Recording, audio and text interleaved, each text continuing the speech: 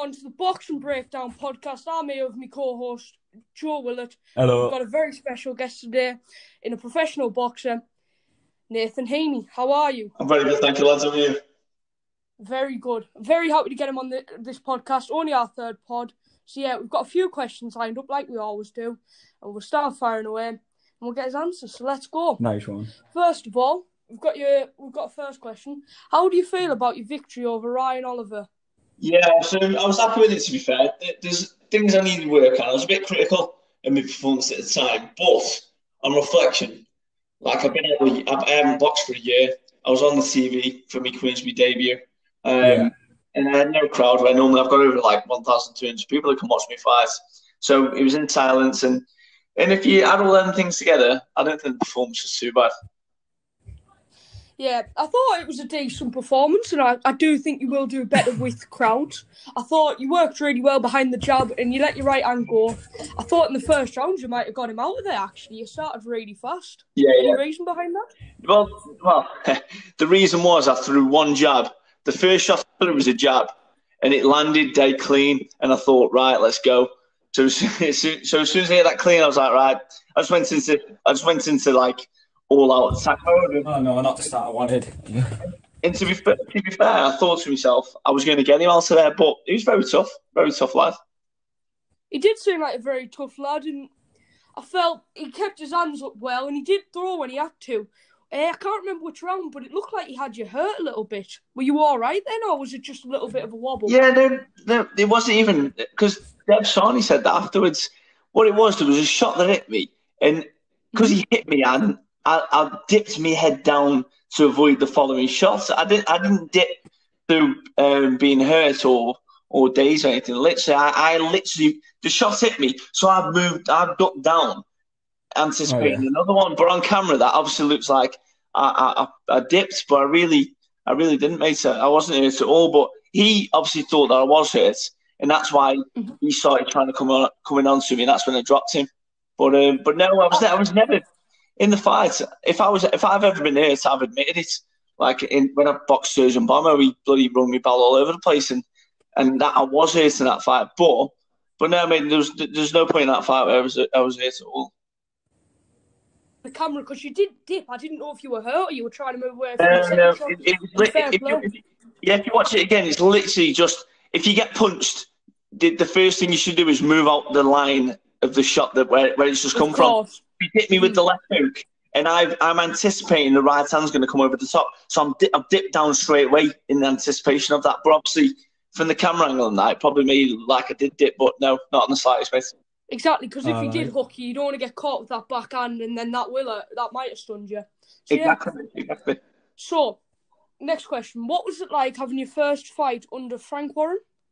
Yeah, First it's, fight it, it wasn't me. It was me. Um, it was my first fight for Queensberry Promotions. Obviously, I'm a, I'm, I'm 11 to 0 now, so I've had 11 fights, 11 wins. But but yeah, it was great, mate. It was um, it's always been a dream of mine to fight for Frank Warren growing up as an amateur. So to finally do that was um, yeah, it was a proud moment, mate. Very, very good. Next one is what was it like without your crowd? Because I feel like you do work well off your crowd. And what was it like fighting in like COVID times? Yeah, but it just wasn't as enjoyable, mate. So, like, there's nothing better than when you walk out to Delilah. You've probably seen the video yourself. Um, Yeah, that's but- that's how I found out yeah, but about who you are, it's just it's incredible. Like the noise, Yeah. atmosphere, and like for example, in the fight when I was letting them shots go, and when I dropped him, the place would have erupted. The noise would have been Yeah. real, but obviously I didn't have that, so it was um it just wasn't enjoyable. I knew I'd still get the job done because I've got a job. I'm, I'm a professional fighter, so I'm, that's that's my job. Some some fighters haven't responded well to having no crowd, but but I think I dealt with it well. Yeah, I thought you really did, and I thought you still look good, and you enjoyed coming out, and you just try to make the most of like almost a bad situation, which is the best you could do. Yeah, absolutely. It's like with Delilah as well. I- mm-hmm. I, actually, on TV, I actually looked quite good. I didn't, I didn't know I was going to look at home because I was singing, and everyone, Yeah. everyone could hear every single word I was singing in the arena. I was thinking, oh my goodness, this might sound terrible at home. But fortunately, you couldn't hear me, and it looked mint. So yeah, it was good. I think it really did go well because, uh, as you said after the fight, you said you were worried how you looked, but you looked. It just made you look even better. Yeah, as if you're like we're looking forward to getting crowds back, and everyone's looking forward to that. Yeah, I mean, you you got to commit to it, mate. It's one of them. If I'd if I'd have been half-hearted, when I watched um, Josh Warrington walkouts, his is tough mm-hmm. because his is all the crowd. There's not really much from him, really. Like with my walkouts, it's all my crowd, but also I I I'm entertained at the same time. If you know what I mean. So I still Yeah. I still had to commit to it and just. He looked quite awkward when he did wa- his walkouts. I thought, to myself, there's no way I'm going to go out there looking awkward. I just need to make it look like it is every single time I walk out. So and I think he managed to do that. Yeah, I thought you done a good job at that actually. So, man, I think I, th- I think it gave you it made you look a bit more confident and it, and it looked really well for you. I thought he looked a little bit awkward. Now I wasn't I wasn't sure. yeah, yeah, yeah. But he's, um, I think he was nervous, but but he, but he's, he's a very good fighter actually. Yeah, very hard fighter. Got another one. Uh, what's next in your career? Where do you where do you look at going next? Well, I think um, I think BT Sport and Queensberry Promotions are looking to come to Stoke to put a big show on over here. So I think that's the next step now, is in terms of getting those guys over here, just so we can put a massive show on in Stoke, and then and then who knows after that, mate? We'll just keep working our way up the rankings, see what titles become available, and fight for them. Yeah, because I think you're looking when the you'd like to fight when crowds are back and you're getting your well deserved break. Yeah, So, yeah. absolutely. Um, was there a reason? I, I think I'm right. You fought at super middle, didn't you? And you normally fight at middleweight. No, no, no. Yeah, no, No, it wasn't super middle, but I, I weighed in 11.75, which is middleweight. Mhm. Just Ah. on TV, for some reason, they had it down as a super middleweight contest, but it wasn't. Like Ryan Oliver weighed in eleven six, I weighed, which is middleweight limit, and I weighed in Mhm. eleven five, so which is under the middleweight limit. So, um, yeah, no, it's, I'm a middleweight mate. It was just I don't know why they put it super middle. Yeah, I was thinking that because I, I I thought it was 11-6 and you both weighed in the middle. Yeah, Yeah, just just everyone put that down. I was just very curious about that. Um, who's the hardest fight you've ever sparred with? yeah. Liam Williams. Liam Williams is the- the best I've ever sparred. Cracking fighter, very good fighter. Amazing, mate. Amazing. Very strong. Joe, Joe, would you like to get a question in? Um, um, with all the um, before you were saying that you thought he was a bit nervous. Um, a question I was wondering. Um, did would you say you ever feel any nerves before going in? Oh, of course, mate. For the health for the Yeah. weeks before the fight, two or three weeks before, all you think is um, you just get the adrenaline rushes from thinking about the fight in terms of what you're doing. You get Yeah. that sort of fly mode where your body, even though you're not actually fighting, your body thinks you are fighting. So, like, even you just imagine a certain aspect of the fight, your adrenaline starts going. So the, the nerves happen Yeah. the whole time, and then and then even beforehand, it's it's nervous when you're waiting in the hotel, particularly with COVID, because you're on your own and you can just think all day, and bloody three hours feels like ten. So it, um, Yeah, but, but but for me, it's one of them when like Delilah kicks in, just it all Yeah. disappears and because you're in, you're in fight mode, you're in show showtime mode, and it's just you just switch on. Yeah. I thought that looked a nightmare as well, waiting for the COVID test. Oh, yeah, it was yeah. I had to wait in the room for like twelve hours, and then not only that, you sort of you got the you got the worry about you failing the test, but also you got the, the worry about your opponent failing the test. Because if anyone fail, like the cut man, the corner man, the fights off, and then obviously Leon Woodstock, he failed, so he was negative, he was positive, so the the main event was down, which essentially could have completely ruined the show because they, they were potentially going to pull the show, but fortunately Yeah, he, he let it go on, which is good. Yeah, it must have been um, extremely difficult with because obviously the waiting, but you just got to get used to it, haven't you? That's it, mate. Just got to crack on, mate. It is Very good. like anything. Exactly. Go on, Joe. You can get another question hang on. I'm just going up them. Get them loaded up. Yeah. Well, it would help if it would let me have a look at them. I've got them saved in the thing, and it's Phone's being glitchy. Do you just want me to go for the next question? yeah. Go on, I'm fine. Fine. Absolutely fine. What's what's been your hardest fight out of all eleven? Um, hardest fight. Um, trying to think of the, the hardest fight. Um, I probably I'd say the most challenging one in terms of coming through different aspects was the my seventh fight, which is was for the Midlands area title, where I fought Tom Stokes, who was a ten and one fighter at the time. Um, yeah, I had some stuff in the in the lead up to that fight that was quite stressful. Um, so I had to overcome those kind of things. And then in the fight itself, I got caught a couple of shots, had to recover, had to change my game plan to to suit it. But but I come out on top and I, and I won it and I won it comfortably in the end. But but yeah, I'd say that's probably my tough one. But all the fights I've had, other than the ones that I've knocked out, um, they've all had their own particular challenges, so they've all been good. Yeah, yeah, Tom Stokes, he was 11 and 2 when you fought him. It was in Stoke. Was it, it was, yeah, yeah, for the Midlands area title. Yeah. So he seems he seemed like you had an all right resume as well. Yeah, yeah. Especially for your seventh fight. Yeah, that's it, mate. We just moving through it, mate. Like, it's one of them. Um, you want to you want to have good fights, but at the same time, um, you you want to progress as well. So yeah, you've got to take them journeymen first and work your way up, and that's a very good. That was a very good fight. It must have been a good learning curve. Oh, absolutely, mate, absolutely. Right, next one. What's the most difficult? What's the most challenging part about being a boxer? Um, the most challenging part, I'd probably say. Uh, I don't know, man. They keep it to so many different things because I enjoy training, but obviously you got to be you got to be dedicated. Um, mm-hmm. But but I say like as a professional fighter, it's obviously the most difficult thing is making yourself unique to everybody else because at the end of the day, um, promoters want you to be a commodity to them in terms of selling tickets and so on. And I think it's very hard for some people to to stand out um, compared to other fighters. I think I'm very fortunate that um, I've got like a great walk on, and that makes me unique to a hell of a lot of fighters. So I've got my own unique selling point there. But I think for other fighters, it's very hard to sort of create a niche in terms of why do people want to watch that one guy? Do you know what I mean? Whereas, um, yeah, and I, I, think that's probably the most that's probably the difficult thing as a professional. How do you keep how do you keep people entertained and how do you keep people wanting to come watch your fight? And I'm I'm like I say, I'm very fortunate that my following has just grown and grown and grown, and the support has grown and grown and grown. So I think I've got that down to a certain aspect. But I think for the rest of them, they're uh, that that's probably their toughest thing.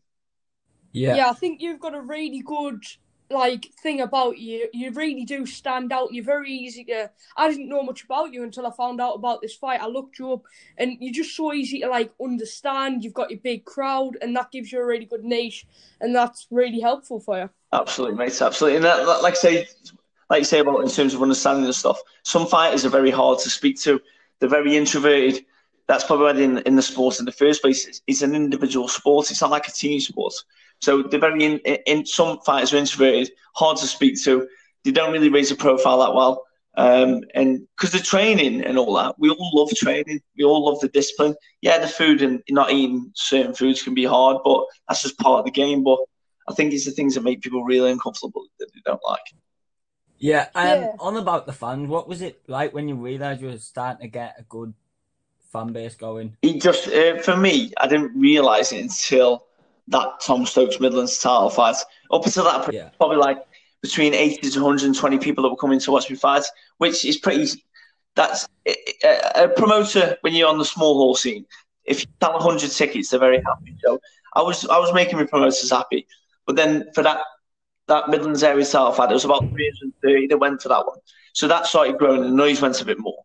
But then, as a result of that, because the atmosphere was so good, and, and obviously I won, it sort of snowballed after that. So then there was like 400 odd that come to me next fight.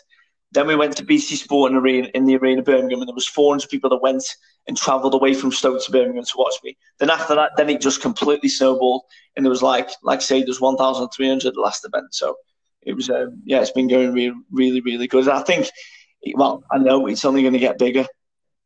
Yeah, that is absolutely brilliant the way you've just grown and grown and grown. Like I say, you're just so easy to like connect with.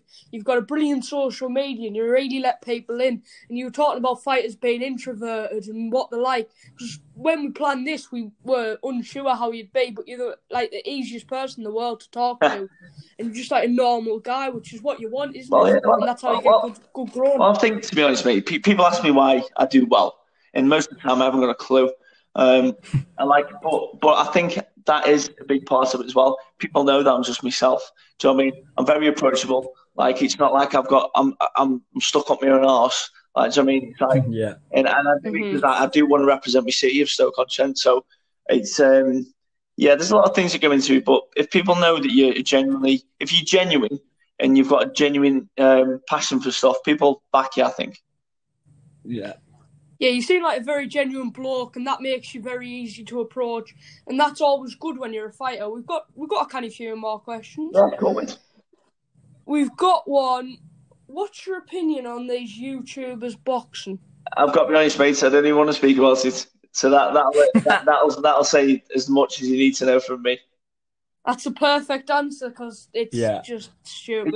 It's, it's, it is what it is, mate. It just it, they get that that lad's fit that is baiting all the fighters. Like Tommy Fury, he hasn't got the slightest interest in fighting Tommy Fury. But all he's done is he caused a bit of a stir, and he, now he's got a load of followers that were that were, uh, Tommy Fury's. That's all he's doing it for. It's to cause controversy, and I just can't stand it. Absolutely brilliant answer, and I'm very happy you answered like that. We've got some ones about the boxing coming up. We've got uh, at super middleweight. Could could we have your opinion on Billy Joe Saunders versus Canelo and how you see that pan now? Um, well, I've seen, like I say, Liam Williams is the best person I've ever sparred, and he speaks Yeah. about, he speaks about Billy Joe Saunders like I speak about Liam Williams in terms of Liam Williams thinks that Billy Joe Saunders is one of the most slippery, awkward people you'll ever box. Now, if he thinks that, Billy Joe Saunders must be on the next level. But Canelo is also the best in the world, and I can't believe it feels like he's fighting every two minutes. Um, I'll, I'll rate Yeah. fighting, but you, you would have to say Canelo just for the fact that it's Canelo. But Yeah. I think Billy Joe Saunders could certainly offer something that Canelo hasn't fought for a very long time. And when he has fought awkward people like Lara, who was a southpaw and quite tricky, he potentially could should have lost that maybe. But um, so yeah, very interesting. I think Billy Joe Saunders. If there's someone that could beat him, I think he's probably could be that man. Yeah, because obviously he's got extremely brilliant boxing ability, and he, if he can stay away, but it's all a question if he can stay away from Canelo and outbox him. But that's always the problem. He's he's just so good at working the body, and he can just knock you down and you're hurt. And then, but if there is a man I think who can beat Canelo at the minute, I think he's he's got the best chance personally. Absolutely. Right. You got any more? Have you got some questions, Joe? Um, I've just, I've just, I'm looking at um what we had already noted down. Um, Mhm. what, but one I've just thought there. What would I mean? Obviously, you might have a bit of not, I wouldn't say biasy, but you might prefer certain divisions and stuff. But what if you say at the minute is the best division in boxing and that you enjoy watching the most, or in your Um, case, fighting in the most? Um, well, obviously I'm a middleweight, so I think the middle. I think domestically the middleweight division is quite nice. Like in terms Yeah, Denzel Bentley's a British champion, you got Felix Cash, Jack Cullen, you got uh, you got uh, Mark Heffron, Liam Smith. I think it's a, I think that's a really good uh, division. But obviously, like you, you look at like uh, Josh Taylor's weight and stuff. There's um, great fighters in that division, um, and I think it is he's one of the best ones. Yeah, there's a lot of good weights at the minute in boxing. Um, in my opinion, I'm I'm a big fan of the middleweight division. You've obviously got your Golovkins, Chris Eubank Juniors, Yeah. but I think the middleweight division, at the, uh, not the middleweight, the welterweight division's looking really good at the minute. Yeah, well, oh, is that with Gervonta Davis and all that? uh, that's the one with like Crawford, Yeah. Spence, yeah, Porter. yeah, yeah, yeah, yeah, yeah. Very, very good. Yeah, very good. Go on, Joe. We'll have another question off you. Off me. Um, Mhm. Well, this is another one I've got written down. Um, Whyte Povetkin. Who do, who do you back for that one? Um, if you you'd, you'd have to back like the the man that knocked him out already. Uh, you'd have to Yeah. go for Povetkin just because technically he's just very very good, and Whyte's Yeah. very good.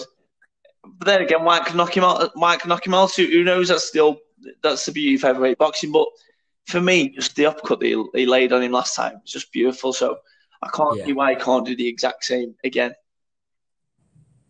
Yeah, it's it's really nice to talk to an actual professional boxer about professional boxing because you obviously know quite a lot. It was a very Whyte started well, but it was an unbelievable uppercut off um, Povetkin. He worked it well. He kept with the left hook and then he changed up and he caught him with the uppercut, which I thought was a brilliant punch, and it laid him out. But it's a, it's a fight we do all look forward Oh to. yeah, massive. Go on, Joe. You can keep asking the questions because I ask any few. Nice. Um, again, I've got another prediction one. Um, I think I've missed one. Of, uh, anyway, AJ or Fury, the big, the big talking point at the minute. Yeah, it, for me, I've always said Fury just for the fact that I think Yeah, if Fury does the right things, I think he boxes everyone's head off. That it, Yeah. the movement speed that he's got, working well in jab. But but the equaliser is AJ's very good at what he does, um, and he can Yeah. bang as well. So if he lays it on Fury, Fury could be in trouble. But it's just it's a that's why the fight's so great because it's two big guys against each other. So, but Yeah. yeah, I, I, I'd edge it towards Fury. yeah. I'm basically the exact same with that actually. Um, I think I think if we're going to, it's all right if we just stay on this topic for a little bit longer, Joe. I think it could, it's a good fight, and it's obviously a very good British fight that, that we've got the titles at the minute. yeah, I think if Fury can, if it does become a boxing match, I think Fury's got it, but that's depending if AJ can make it difficult. But they're both absolutely brilliant boxers, and should be an absolute class fight, and that's something we all look forward to in the boxing world. Absolutely. mate. Let's go on, Joe. We've Uh, got a can We've got a couple more, haven't we? yeah. Who was your who who was the say the like fighter you looked up to when you were growing up and Yeah, so, so, so going up uh, for me, the main one was Joe Calzaghe.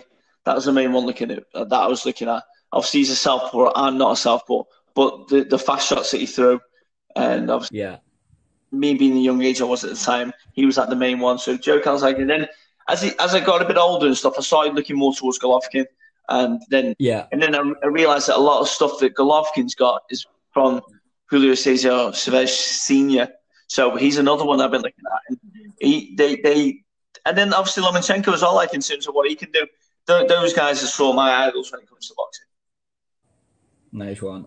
some very good idols. Joe Calzaghe, an absolute brilliant boxer. Obviously, I wasn't old enough to watch him, but I've seen enough fights of him on the highlights, and he, he was just so impressive with Yeah, incredible punch speed. So yeah, very good answer. Go on, Joe. You've got a couple more, I think. um, do I? Yeah, I thought you did. Go on.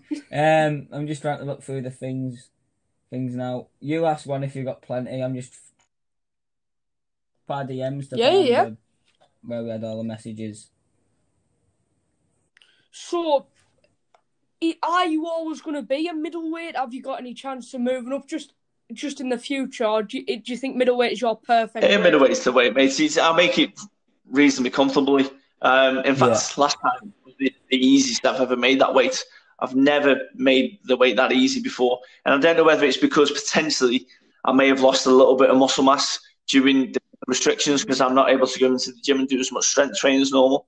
That potentially could be the case. So I think what I'll do over the coming months is just get a little bit bigger, just so I'm bigger at middleweight. Um, Yeah. I need to be a little bit tougher to make that weight. So 'cause if I'm making it easy, that means I'm obviously not that big that weight, but I am big. If you look on the TV and stuff, I'm still quite a big, quite a big middleweight. But, Yeah, but yeah, it- middleweight's my division weight. I can't really see me ever stepping up. Yeah, I thought I thought you looked in quite good shape, and you did make the weight, as you say, very comfortably, even one pound under. And I thought it was overall a good. What did you think of the fight night overall? Because, like, of the wins in the like Tommy Fury's fight and the fights above you, what did you think Well, of that night? I've got my own space. I didn't get to see him um, because of the COVID stuff. Literally, you? went in there, you went in the change room, you got wrapped up, you boxed. As soon as you got into interview, you were you were basically kicked out and you had to go back to the hotel. So I didn't even. Yeah, Oh. I haven't watched them back either, so I can't really comment too much. Oh, fair enough. I just wondered because again, that's another topic. It must be like we said, it's difficult in COVID times, and you just you got to go straight back to your Yeah, hotel. rubbish, mate. It was um, wasn't. It's one of them. It's quite a forgetful night in terms of you don't really. I didn't get to meet Josh Taylor, which is gutting, but I did meet my- Dennis McCann, who's a cracking fighter and a lovely lad. So I met Dennis McCann, who's a top kid. Um, but yeah, other than that, mate, straight back in the hotel, and it was just like it was over and done with before I could even blink. Another question: Before the fight, did you just get there? At what time did you get Yeah, there? yeah. Did, did you have to wait there, or did you get there and then Yeah, so what? basically what happened was we had to leave the hotel at seven. You had the taxi pickers up individually um, for a set time. Arrived at the venue, um, and then by the time everything was sorted with the checks and all this kind of stuff, it was half past seven. I was in the change room. Then you start get- getting wraps up. Now wraps normally take about half an hour just to do the wraps. Um, but I was Mhm. about quarter to eight. They said you're on at five past eight. Is crazy. I, I expected to be on at half past eight. So then literally we had to mm-hmm. chuck the wrap on, hot, did hardly any pads, so the warm up was terrible. And then yeah, straight out, mate, it was mad. Yeah, because obviously I felt the first few rounds because you didn't get a warm up. I wasn't sure if you did or not, but I felt you were just trying to warm into the fight and get yourself around and just dust off a bit of ring rust because you hadn't fought. Exactly, years, exactly, mate. And to be honest with, with me, I tried to, I did try to stop him in the last round. And even, and if he hadn't, and if the balance had saved him when I dropped him in the fifth, I would have stopped him then as well. But Yeah. it's one of them. It was. I'm good. I'm glad I got the rounds. I was, I've got another ten rounds under my belt, so that's what. Uh, that, in, I thought was I thought it was a really good ten rounds as well. I thought you looked in pr- every round you looked very comfortable and you boxed extremely well. And I thought you worked off the jab incredibly, threw the right hand at the right times. I was, if there was another thirty seconds in that fourth, I don't think you would I have didn't. I survived definitely it. stopped him. Yeah. Yeah, I thought you were very close, and obviously the bell went. I could see you were trying to get him out there in the last, but obviously, as you say, ten rounds is all. I'll be Yeah. honest with you, start. I thought you. I thought you were going to take him out in one.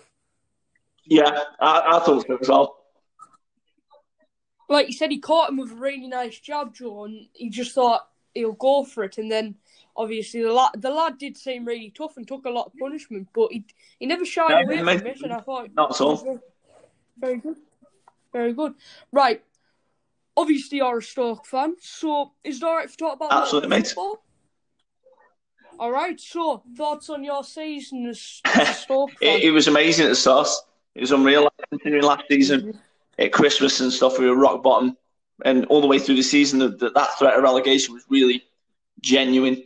Um, so when Michael O'Neill come in, um, we had a great we had a great start to the season, and it was just looking mint. We near the playoffs. Well, in fact, we were second at one point, and then but then all that happened is Tyrese Campbell got injured. I think Nick Powell got injured. So so some some key players, even Fletcher got injured as well. One of our other strikers, and it, uh, the wins went straight over sale. So now we're currently I think 12th or 10th, uh, 11th or 12th, something like that. Ten points on the playoffs, but Mhm. but we're safe. It's just one of them now. Maybe maybe you should just give the youngsters a bit of everyone else and save some of the old dogs. Yeah, because we're Middlesbrough fans, and obviously we were, we're in around you. We're only two players to pull, and he started really well. And that Tyrese Campbell is Yeah. a brilliant player. He was he was like six goals and five assists in like fifteen games. He got in. I heard he got injured and he's Yeah. out for the season. And I felt like your form took a dip. You hadn't won in like eleven. You've won your last two. But when we played, you, you were a really good team, and you were good, very physically Yeah. strong. And I think this season you'll be mid-table, and then next season you can push on because Michael O'Neill. Because last season you were Oh, maybe, bottom at maybe, one maybe, point. maybe we were going down last season, but then look like, fortunately, O'Neill sorted us out. So yeah, very, very, like the, the, you're going to get Stokies that are going to moan about the performances, and the performances aren't great, but but it is what it is, mate. I'd say I prefer what we've got now and then build on it next season. Yeah, because you um, had Nathan Jones. He wasn't Yeah. really performing like like us. We took on Jonathan Woodgate. Now we've got an experienced manager in Neil Warnock, and that's what I think you need in this division. And just to be safe and pushing up there is just all you want, Yeah, really, isn't it? mate. Yeah, good. Joe, have you got any more questions? I'm Or out. I'm fully there? out. All right, fair enough. So, call us and end to the podcast. Thank you so much. More than welcome, coming boys. on. Cheers, genuine box Nathan. ever. Uh, so, everyone, thank you for watching this podcast. Make sure you like and subscribe. We'll see Take you all care, next boys. time.